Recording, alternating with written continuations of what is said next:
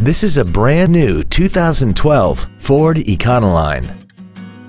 This van has a 4-speed automatic transmission and a 4.6-liter V8. All of the following features are included. A low tire pressure indicator, traction control and stability control systems, privacy glass, an anti-lock braking system, door reinforcement beams, air conditioning, and an auxiliary power outlet. Contact us today and schedule your opportunity to see this vehicle in person.